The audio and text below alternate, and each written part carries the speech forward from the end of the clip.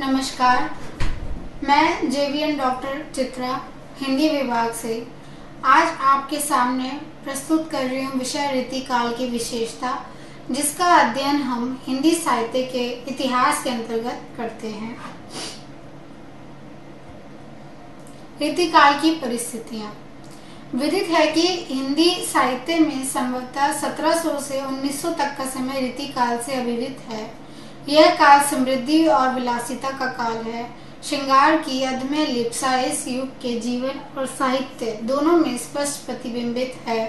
कला वासना पूर्ति का साधन बनी और नारी उसका आलंबन।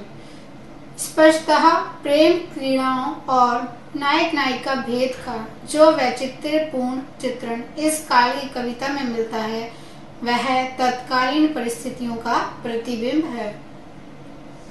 राजनीतिक परिस्थितियाँ। राजनीतिक दृष्टि से यह 200 साल का समय मुगल काल में शाहजहां से लेकर लॉर्ड हार्डिंग तक का समय है, जिसमें शाहजहां की उत्कृष्ट कला प्रियता का युग भी है और औरंगज़ेब की धार्मिक कट्टरता, नादिर शाह और अहमद शाह अब्दाली के कत्ले आम और निष्पक्षता की घटनाएँ भी इस काल में घटित हुई। अंग्रेज़ों की कूटनीतिक चालों और कुचालों का जाल भी इस युग में पनपा। छोटे छोटे राज्यों और रजवाड़ों, सरदार सामंतों का इस विपत्ति से अंग्रेज़ शासकों की अधीनता स्वीकार कर, आँख मूंद कर, दरबारी विलासिता में मस्त जीवन व्यतीत करने की कहानी भी इस काल की कहानी है। इस काल के कवि इन विलासी रजवाड़ों के दरबारों में रहकर आश्रयदाताओं को विलासिता में सुरा के प्याले पिला रहे थे। राजमहलों में नाच रंग तथा मदिरा पान का ही बोलवाला था। सुरा सुराई और सुंदरी के राज में विलासी जीवन से उत्पन्न कविता, श्रृंगारिक कविता बना, बनती गई। सामाजिक परिस्थितियाँ। सामाजिक दृष्टि से ये काल घोर अधपतन का युग रहा। यह सामंतवादी युग था, जो सामंतवाद के अपने सभी दोषों से युक्त था। नीचे वालों को ये मात्र अपनी संपत्ति मानते थे, जिनका अस्तित्व केवल उनके लिए, उनकी सेवा के लिए ही था। नारी को अपनी संपत्ति मानकर उसका भोग, इनके जीवन का मूल मंत्र हो गया था। सुरा और सुंदरी राजा और प्रजा के उपास्त विषय हो गए थे। नैतिक मूल्यों का पूर्णता अभाव था। चिकित्सा, शिक्षा और संपत्ति रक्षा का कोई प्रबंध न था। धर्म स्थान भ्रष्टाचार और पापाचार के केंद्र बन गए थे। हिंदू अपने आराध्य रामकृष्ण का अतिशय श्रृंगार ही नहीं करते थे, बल्कि उनकी लीलाओं में अपने विलासी जीवन की संगति खोजने लगे थे। रूढ़ीवादिता के अत्यधिक बढ़ जाने से मुसलमान जीवन की वास्तविकता से दूर पड़ गए। कर्म और आचार का स्थान अंधविश्वास ने ले लिया। साहित्य और कला। साहित्य और कला की दृष्टि से युग, यह युग काफ़ी समृद्ध रहा। ललित कलाओं में चित्रकला, स्थापत्य और संगीत कला का पोषण राजमहलों में हुआ। संगीत शास्त्र पर कुछ प्रमाणिक ग्रंथ लिखे गए। अलंकार प्रिय विलासी राजा और बादशाहों की अभिरुचि से अत्यधिक प्रभावित होने के कारण तथा कल्पना परक वैविध्य की न्यूनता के कारण कलाएँ, कला की सीमाओं से दूर पड़ गई। रीतिकाल की प्रवृत्तियाँ रीतिकाल की विशेषताएँ, हिंदी साहित्य का उत्तर मध्यकाल रीतिकाल के नाम से पुकारा जाता है। इस समय के शासक साहित्य प्रेम, काव्य प्रेम तथा मनोरंजन के लिए कवियों को आश्रय देने लगे थे।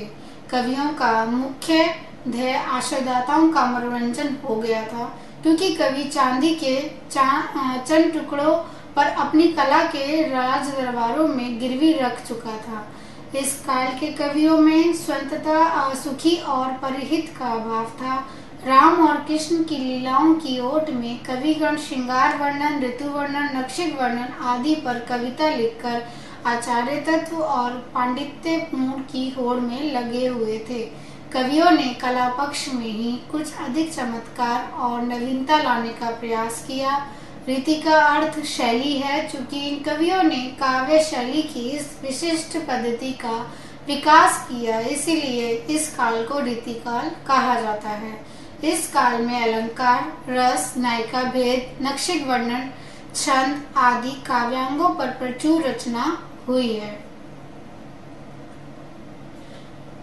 अन्य विशेषताएँ इस प्रकार है। लौकिक श्रृंगारिकता। इस काल के कवियों का मुख्य काव्य रस श्रृंगार रस है। नायिकाओं का नक्षिक वर्णन और कटाक्ष वर्णन ही इनका लक्ष्य रहा है। इसी कारण इस काव्य का वर्णन विषय अधिक विस्तार नहीं पा सका। नारी को केवल भोग्या के रूप में देखा गया। वह न किसी की पुत्री थी, न किसी की माता। नायिका वेद। इन कवियों की लेखनी से नायिका भेद सुंदर वर्णन प्रकाश में आया है। भेद वर्णन अत्यधिक उत्तेजक और कामुक भी है। लक्षण ग्रंथों का निर्माण। इन काल के कवियों को लक्षण ग्रंथ लिखकर आचार्यों का भी कार्य करना पड़ा। किंतु दोनों कार्यों में एक भी कार्य अच्छी तरह नहीं संपन्न हो सका। इस काल के कुछ कवियों ने लक्षण लिखकर स्वरचित उदाहरण प्रस्तुत किए। इसमें भूषण देव आदि मुख्य हैं। दूसरे प्रकार के कवियों में बिहारी प्रमुख हैं, जिन्होंने केवल उदाहरण प्रस्तुत किए। अलंकारिकता। इस काल के कवियों को अलंकार प्रिय थे। वे मानते थे, भूषण बिना न सोई कविता बनिता मित। इस दृष्टि से इन कवियों ने अपनी कविता कामिनी को अलंकार से खूब सजाया है। अगली विशेषता है ब्रज भाषा इस काल की साहित्यिक भाषा है जो कोमलता और मधुरता की दृष्टि से सर्वोपरि है। इसी कारण मुसलमान कवियों ने भी इसी भाषा को स्वीकार किया है। इसमें अगली विशेषता है मुक्त कवि। रीति काल में प्रबंध काव्य लिखने का प्रचलन नहीं रह गया है।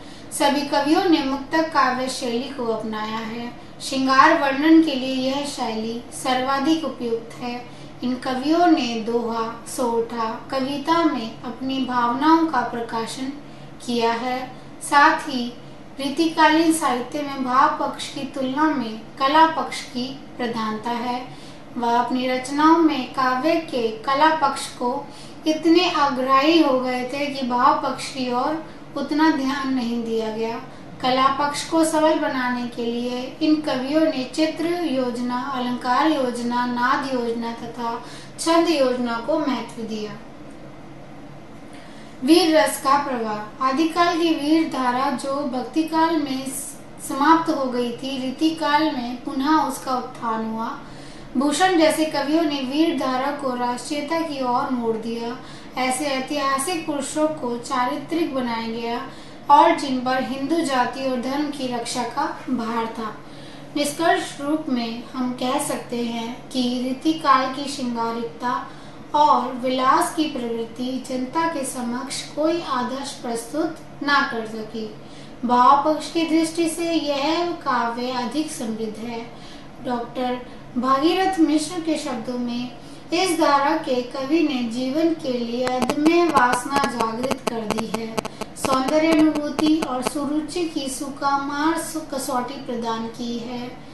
केवल के चेतावनी एक काव्य के संबंध में दी जा सकती है, वह यह कि इसे, उसे चुने हुए रूप में पढ़ना अधिक श्रेयकर है। धन्यवाद।